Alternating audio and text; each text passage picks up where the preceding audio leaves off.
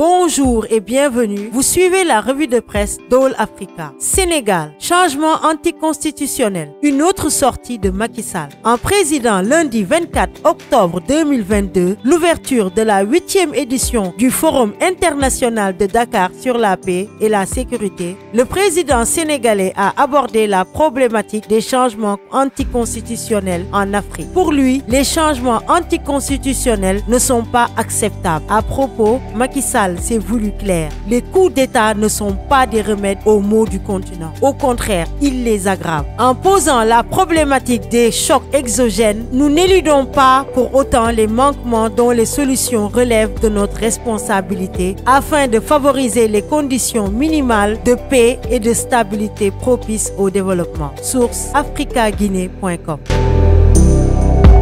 Massacre de 2009. Toumba cite les cerveaux de la milice. Qui est le cerveau du recrutement de la milice formée au camp de Kalea Ce lundi 24 octobre 2022, lors de son audition, le commandant Toumba Djakite est revenu sur cette milice souvent pointée du doigt dans la commission des atrocités survenues au stade du 28 septembre 2009.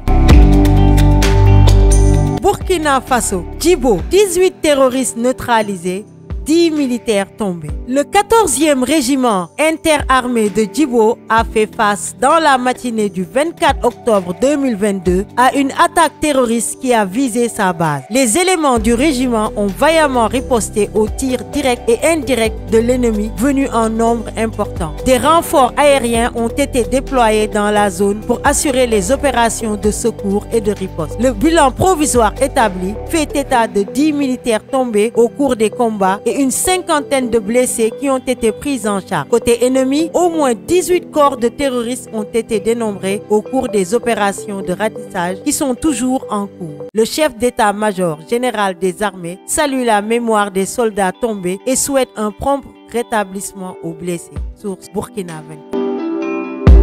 Ouganda, 9 nouveaux cas d'Ebola dans la capitale Kampala. L'OMS appelle à la vigilance. Alors que l'Ouganda a signalé 9 nouveaux cas d'Ebola dans la capitale Kampala, portant le nombre total d'infections connues à 14 au cours des deux derniers jours, l'Agence sanitaire mondiale de l'ONU a alerté sur l'importance de la recherche des contacts pour endiguer la propagation de la maladie. 9 autres personnes dans la région métropolitaine de Kampala ont été testées positives au virus d'Ebola dimanche, en plus de deux autres vendredi, a déclaré lundi soir sur son compte Twitter la ministre de la Santé, Jan Roos Asseng. Source UN News Service.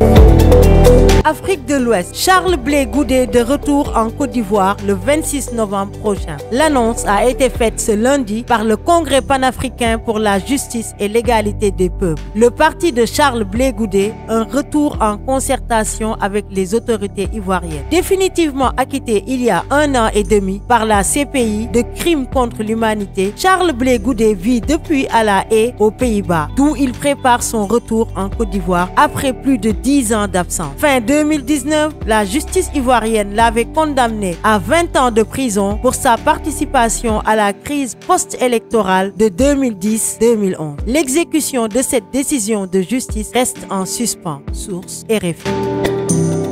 Tchad, manifestation de N'Djamena. La communauté d'Afrique centrale se retrouve à Kinshasa. Alors que le Tchad se récupère de la répression meurtrière des manifestations, Kinshasa accueille mardi 25 octobre un sommet de la communauté économique des États de l'Afrique centrale sur la situation politique dans le pays. 11 pays seront représentés à ces assises en présentiel convoquées par Félix Tshisekedi actuel président de l'organisation. Alors que N'Djamena veut obtenir le soutien de la CEAC, celle-ci cherche surtout à désigner un médiateur pour la crise. Source RFI.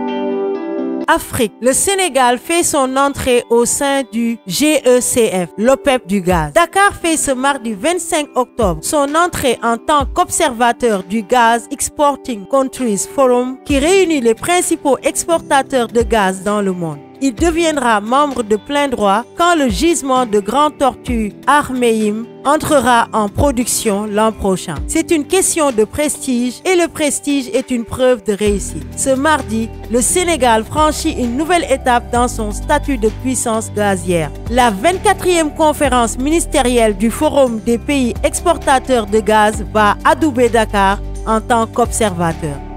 Le Sénégal deviendra le 20e membre de l'organisation qui comportera désormais 8 pays africains dont le Nigeria et l'Angola. Source RFI. Merci de nous avoir écoutés. Rendez-vous demain pour un prochain numéro.